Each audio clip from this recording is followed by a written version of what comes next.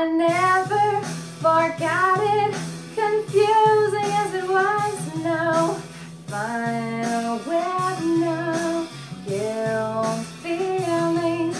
The sinner, the savior, the loverless is free. So see you next Sunday. We